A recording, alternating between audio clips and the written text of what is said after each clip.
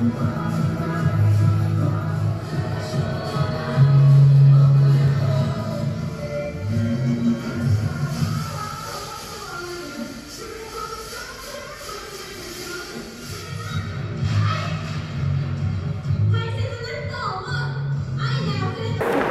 の作品なんですけど、主なテーマが「世界の平和」というテーマで。国内だけでなくて世界中で共通なのはやっぱり平和平和を願うっていうことが世界共通なので親愛と書いてあるんですけど愛っていうのも世界共通にあるなと思っていて家族の愛だとか仲間との愛とか